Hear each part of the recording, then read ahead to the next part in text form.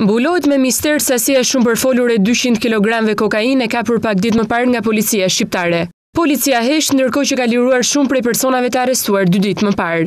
E pikërisht biznesmeni gjirokastrit i liruar nga policia thotë se nuk ka asnjë dijeni se çfarë mund të përmbante tjetër brenda ngarkesa e porositur prej tij. Kemi rreth 400 kode Prodhim vendas me lëndë të para evropiane. Një nga lëndët e para është dhe vaji i palmës që ne përdorim.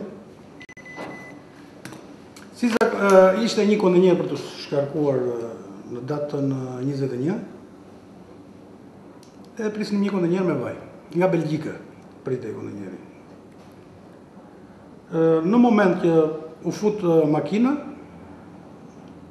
ne ishim duke ngrënë bukë në mensën e kompanisë, edhe lajmërojnë që ka ardhë policia me maska. Dola menjëherë, edhe më ndaluan. Bas kësaj më shoqëruan për në drejtorinë e Tiranës, më kanë marrë në pyetje,